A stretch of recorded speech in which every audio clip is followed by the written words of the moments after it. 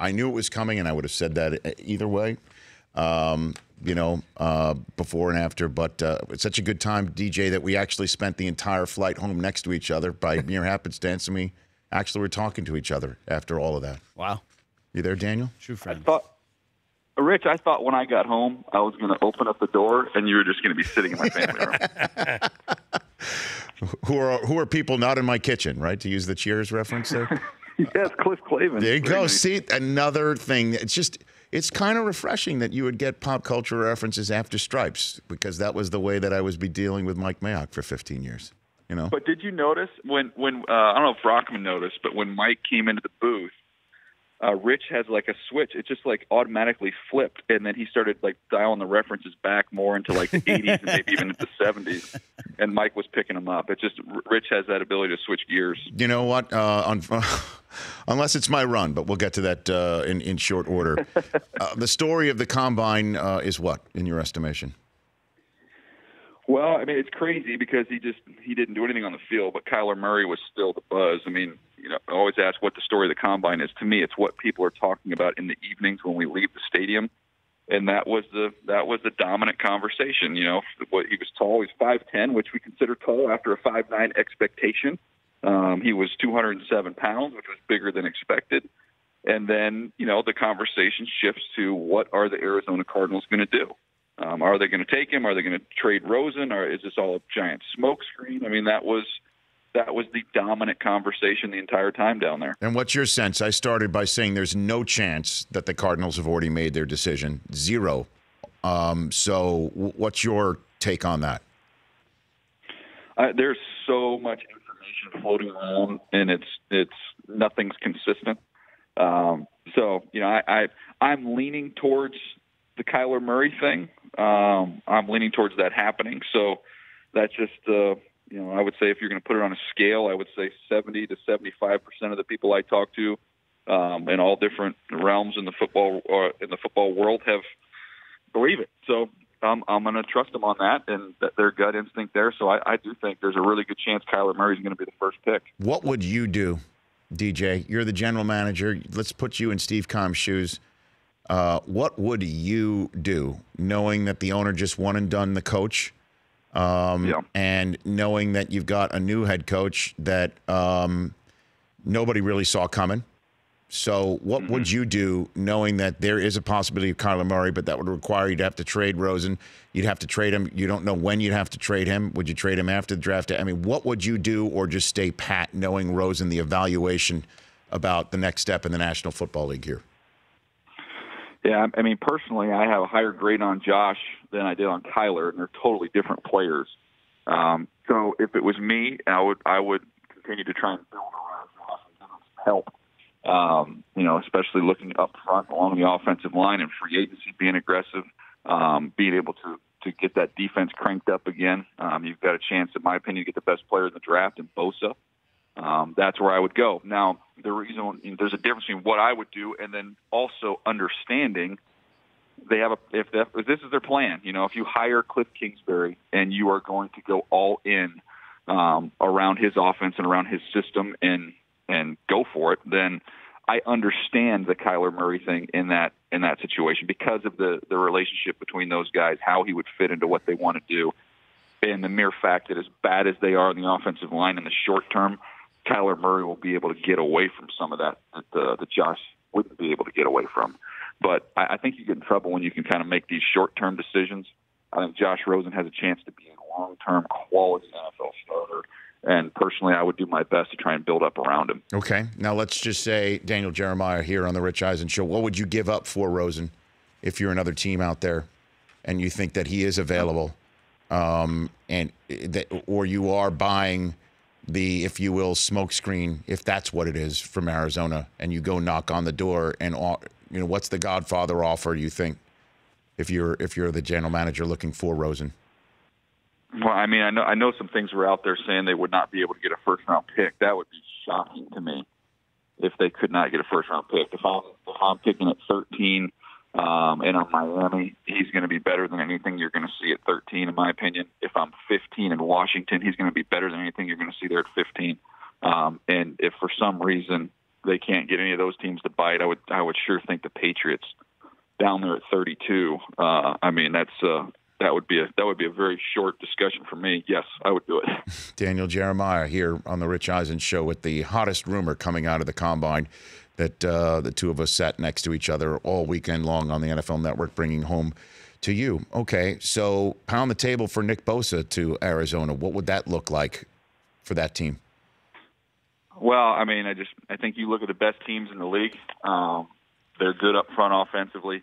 They can rush the quarterback and they get great quarterback play. So, uh, to me, when you look at rushing the quarterback, he's as skilled as any rusher that's come out in a long time.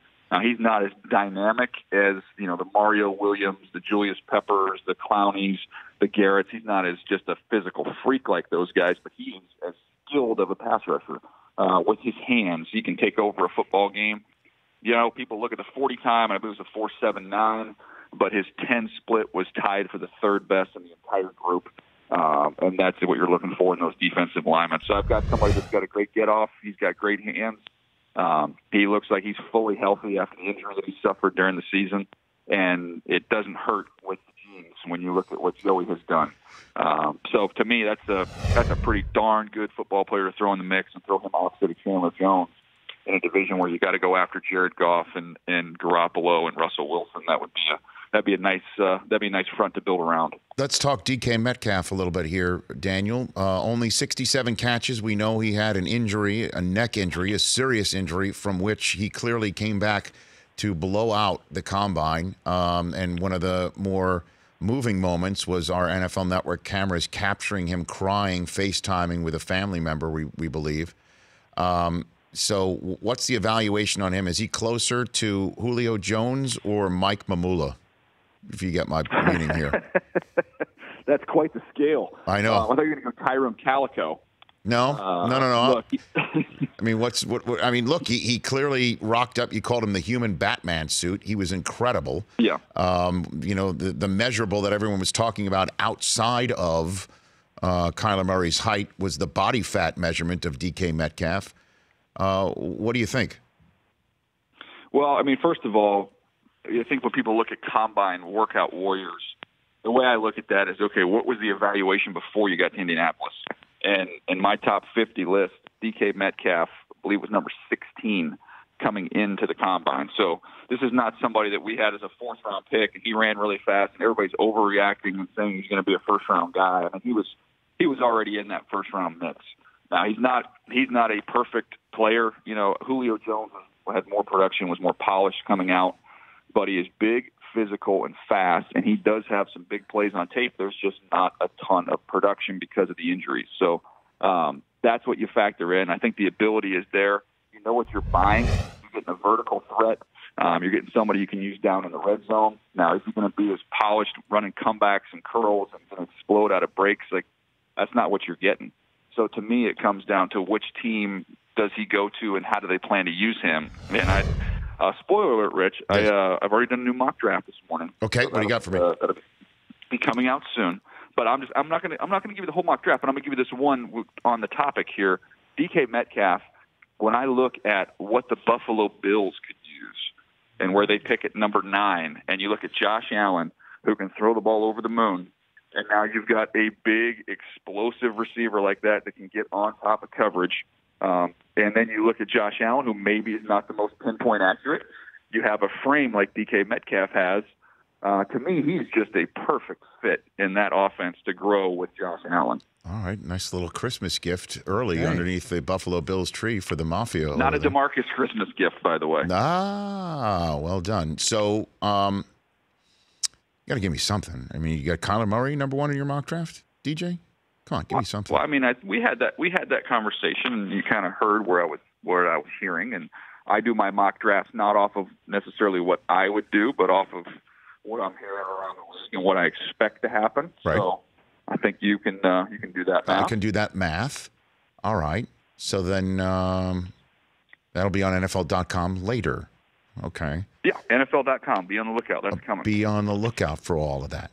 Um, coming out of the combine, what are the pro days that you're going to? Give me the what's the Daniel Jeremiah pro day Yeah, schedule, so we could sense yeah, obviously what you think uh, of what you saw. One, first one is Oklahoma. So obviously it doesn't get bigger than that. Get a chance to see Kyler Murray. Um, it sounds like he is going to do everything. So I know Lamar Jackson did not run a 40 last year. I'm excited to see Kyler Murray do that, get out there and throw it around a little bit. So that'll be a fun one. I'm going to go see uh, Alabama and their whole host of players. I'm going to see Ohio State. Oh, I, I, I mean, are they fast? By the way, uh, is Ohio State? They have fast players. they have fast uh, players, man. So did Oklahoma. So did Miss. You know, I mean, I mean, uh, so did Ole Miss. So did Mississippi State. I mean, how did those teams? You're not, Michigan guys. Uh, you know, but how did those how did those teams not win in the SEC this year? I mean, with all of these kids yeah. coming to the next level. I know that, that might be yeah, a naive question to ask, but it was that's all I kept thinking throughout the broadcast all weekend long. Yeah, it was pretty. Uh, it was interesting. Well, I think if you could have combined the Mississippi State defensive players with the Ole Miss offensive players, you have one heck of a team. you have an all Mississippi team. Um, okay, so you're going to yeah. go from Oklahoma. Are you going to Clemson? Should I tell Dabo in the hour uh, three to look out for you? I don't think. I don't think I'm going to Clemson because all those guys worked out. Okay. I'm going to go. Uh, I'm going to go see Duke with you know see Daniel Jones. I'll go to Missouri to see Drew Lock. Um, another one in there. That I'm Are those two first round um, picks? you think? figure out. I might go to Delaware because Nasir Adderley did not work out. So right. I might get out there. So you'll see the old Blue Hens. Do you think both of those quarterbacks you mentioned, Duke's Jones and Missouri's Lock, are first rounders this year? Well, in the uh, mock draft that I sent in about four minutes ago, I had one of the two in there. Okay.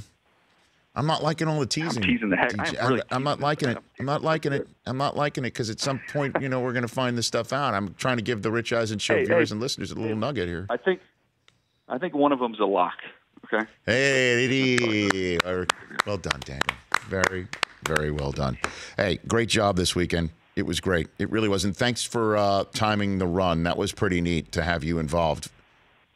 Oh, to me, the to me, you asked me like what was the highlight of the week, and I had a blast up there. Uh, such a fun time, but there was nothing better than hanging out with Connor uh, down on the field and and and getting to visit with him uh, throughout that process. What a neat kid, and what an awesome awesome thing you've built here for St. Jude, and it was it was a pleasure just to be a very very small part of no, it. Oh, you were a big part of it. Well, I, I, less because Connor Rye, the 12 uh, year old from St. Jude uh, his hand time was much more Rich Eisen friendly than yours, to be very honest. I think he was hoping for, for like a Rich Eisen mug out of that. No, no. He wants something. I'm so glad you got to meet him. That was a fun time, and the uh, fundraising was through the roof. I'm, I'm, about to, to get to that, so I appreciate the time, DJ. Cool, buddy. All right, travel safe. I appreciate you, buddy. Travel safe. Travel safe throughout the uh, the uh, pro day season. Here's Daniel Jeremiah. The Rich Eisen Show, weekdays at noon Eastern on Audience.